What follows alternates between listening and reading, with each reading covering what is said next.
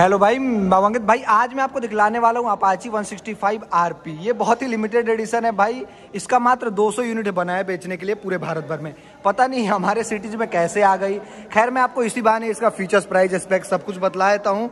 इसका प्राइस अगर आप सुनोगे ना भाई, इसका प्राइस टू सीसी वाला जो अपाची आता है, उससे भी महँगा है भाई। लगभग दो तीन हज़ार रुपये महँगा है। तो अपने को इस तरीके का हेड मिल जाता है। भाई हेड वही, यार देखोगे, फुल्ली गाड़ी वही है यार 160 वाला या फिर 200 वाला देख लो, वही गाड़ी है, लेकिन इसमें ग्राफिक्स कलर दूसरा यूज़ करा गया तो हेडलैम्प आप देख लो फुल्ली नया वाला जो लॉन्च हुआ है, वही वाला हेडलैम्प दिया गया है इसमें। यहाँ पे अपने को लो भी मिलता है, यहाँ पे अपने को हाई भी मिल जाता है, यहाँ पे अपने को डीआरएल मिल जाता है। डीआरएल पे आपको टी की लोगो मिल जाता है। एक बार मैं आपको जला के दिखला देता हूँ, देख लो। ये वाला बंद भी कर सकते हो अपने को, इसमें स्विचेज नहीं नहीं, ये वाला आप, इसमें आपको स्विच नहीं मिलेगा। ये वाला ऑन ही रहेगा, इस तरीके का साइड मिल जाता है। साइड पे आपको ग्राफिक्स देखने को नहीं मिलता, सिर्फ़ यहाँ पे रेसिंग सिंस 90 82 का पैजिंग दिया गया है। और इस तरीके का नंबर प्लेट माउंट मिल जाता है और यहाँ पे अपने को इंडिकेटर मिल जाता है। इंडिकेटर भाई, इतना महँगा गाड़ी है तो एलईडी देना चाहिए था कंपनी को। खैर, अब क्या कर सकते हैं भाई? और इस तरीके का अपने को सस्पेंशन मिल जाता है फ्रंट में टेलीस्कोपिंग मडगार्ड देखोगे तो ड्यूल टोन में दिया गया है। यहाँ पे ब्लू है और पीछे के साइड अपने को ब्लैक मिलता है। यहाँ पे सुपर मोटो एबीएस की बैजिंग दी गई है और यहाँ पे भी ग्राफिक्स दिया गया है। बाकी एलोइल इसका मेरे को बहुत ही प्रीमियम लग रहा है भाई। जो आपको मैंने दिखलाया था 160 में स्पेशल एडिशन आया था ना, वही वाला इसमें एलोइल दिया गया है। बाकी इसमें अपने को सिंगल चैनल एबीएस मिल जाता है। भाई ड्यूल चैनल कंपनी को देना चाहिए था। खैर भाई, क्या कर सकते हैं? यार, इतना महँगा है, कम से कम ड्यूल चैनल कंपनी को देना चाहिए था भाई, मेरे हिसाब से। बाकी टायर सेक्शन की बात करते हो तो यहाँ पे अपने को 90 बाई 90 17 ये 19 है, ये 90 और 17 इंच का एलोए मिल जाता है भाई। इसमें टायर यूज़ करा गया है टीबीएस का ही, देख लो। टीबीएस का ही टायर यूज़ करा गया, ये काफ़ी अच्छी बात है। बाकी बात करें इसके ब्रेकिंग की तो इसके ब्रेकिंग के बारे में मैंने आपको बता दिया। सिंगल चैनल एवीएस दिया गया। फ्रंट में 270 एमएम का डिक्स दिया गया, बाकी रियर में 240 एमएम का डिक्स दिया गया। बाकी साइड से देखते हो ना। तो इस तरीके की दिखती है भाई आपकी Apache R T R one sixty five R P मतलब देखने में सबसे अलग लगता है, ये तो है, लेकिन भाई प्राइस बहुत ही महँगा है मेरे हिसाब से भाई, बहुत ही महँगा है। इस तरीके का अपने को फ्यूल टैंक मिल जाता है। फ्यूल टैंक वही है भाई 160 वाला, यहाँ पे अपने को टीवीएस का लोगो मिल जाता है टीवीएस की रेसिंग की बैजिंग दी गई और 165 रेस का बैजिंग दिया। मतलब ग्राफिक्स देख लो, इतना सारा यूज़ करा गया यहाँ पे। 15 ईयर एनिवर्सरी एडिशन की भी बैजिंग दी गई है। मतलब ये एनिवर्सरी एडिशन है। इसका 200 यूनिट ही बना है भाई पूरे इंडिया भर में बेचने के लिए। लेकिन फिर भी एक यूनिट हमारे सिटीज़ में आ ही गई भाई। इस तरीके का अपने को फुल्ली ब्लैक फिनिशिंग इंजन दिया गया है। और इस तरीके का क्रैश गार्ड दिया गया है। देख लो क्रैश गार्ड यहाँ पे अपने को रेडिएटर मिल जाता है। बाकी इसमें ड्यूल हॉर्न दिया गया है। एक यहाँ पे, एक वहाँ पे है। और इस तरीके का कैटलेटिक कन्वर्टर यहाँ पे engine cowl cover engine cowl cover भी देख लो ड्यूल टोन में दिया गया है। यहाँ पे बैजिंग दिया गया है R T F I race tune की। इसमें किक वगैरह अपने को देखने को नहीं मिलता साइड पैनल पे अपने को अपाची की बैजिंग मिल जाती है। बाकी इस तरीके का ब्लैक फिनिशिंग मिलता है। यहाँ पे R T one sixty five R P की बैजिंग मिल जाती है। यहाँ पे भी ग्राफिक्स दिया गया मतलब ये ब्लू व्हाइट और रेड का कॉम्बिनेशन अच्छा लग रहा है। भाई रियल लाइफ में देखोगे बड़ा मस्त लगता है।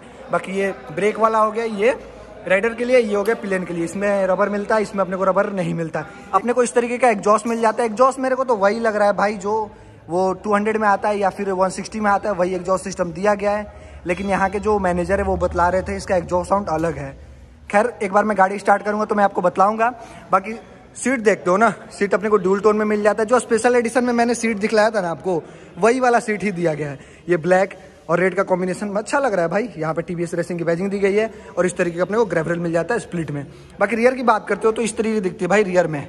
थोड़ा ये उधर से लाइट आ रहा है तो शायद आपको सही से नहीं दिख रहा होगा। इस तरीके का अपने को एलईडी टेल लाइट मिल जा रहा है। टेल लाइट वही है भाई। यहाँ पे खोलने के लिए मिल जाता है। ये पीछे वाला सीट खुल जाता है। बाकी इंडिकेटर यहाँ पे अपने को हेलोजन मिलता है। यहाँ पे नंबर प्लेट के लिए लाइट दिया गया है। नंबर प्लेट माउंट और दोनों साइड अपने को रिफ्लेक्टर मिल जाए तो ये हो गया मटगढ़ इसका। बाकी यहाँ पे भी एक रिफ्लेक्टर दिया गया। रियर अगर भाई काफ़ी बड़ा दिया गया है, मोटा सा एकदम, जिससे पीछे से काफ़ी मस्कुलर लगता है भाई। रियर टायर प्रोफ़ाइल की बात करें तो भाई इसमें अपने को मिलता है, रुको मैं एक बार बतला ही देता हूँ आपको। इसमें अपने को मिलता है 130 thirty by seventy R seventy मतलब ये 130 है, ये 70 और 17 इंच का एलोए मिल जाता है।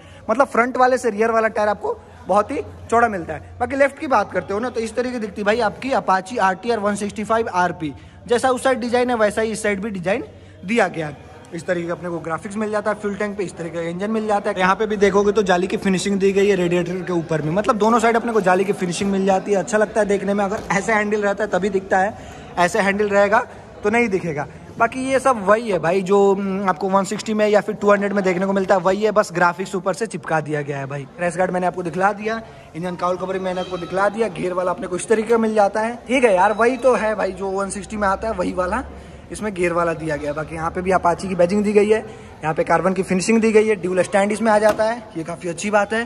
बाकी ये हो गया प्लेन के लिए ये हो गया राइडर के लिए। इसमें अपने को सारी गार्ड मिल जाता है, लेकिन लेडीज़ के लिए फुटबैग अभी इंस्टॉल होगा मेरे हिसाब से।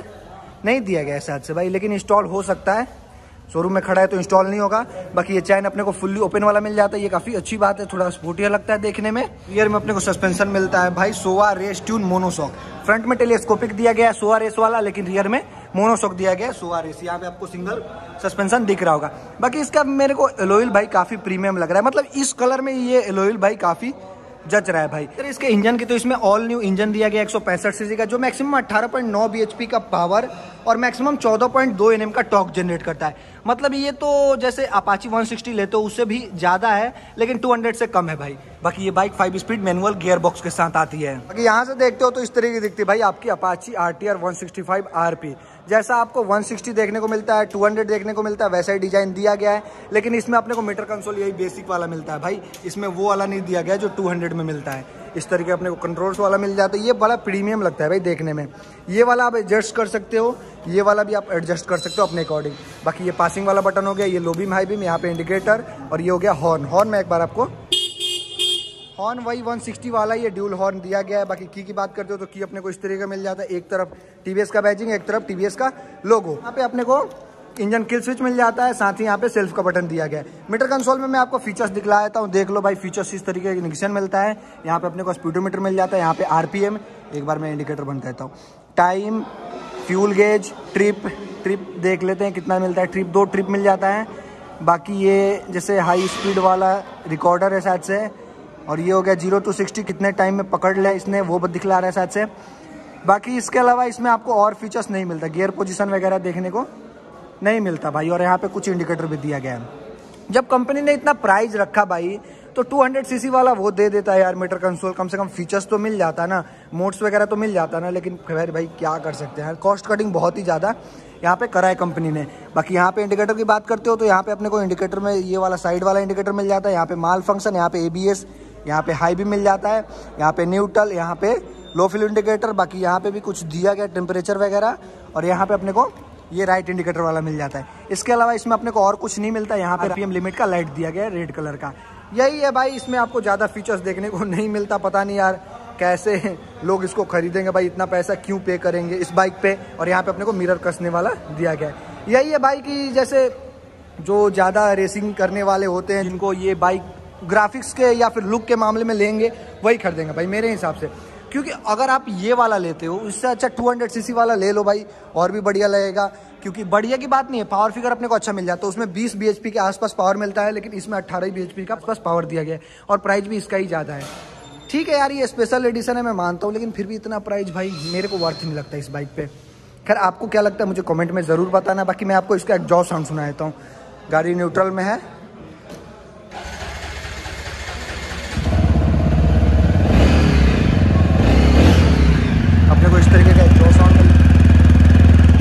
भाई मेरे को तो अलग लग रहा है यार। 160 से इसका एग्जॉस्ट साउंड अलग दिया गया मेरे हिसाब से। थोड़ा लाउडर ज़्यादा है। ये वाला लगता है बिल बहुत ही बड़ा दिया गया है। बात करें इस बाइक के कुछ डायमेंशन की तो इसमें अपने को 12 लीटर का फ्यूल टैंक मिल जाता है। रिज़र्व का ऑप्शन नहीं मिलता क्योंकि फ्यूल इंजेक्शन इंजन आता है।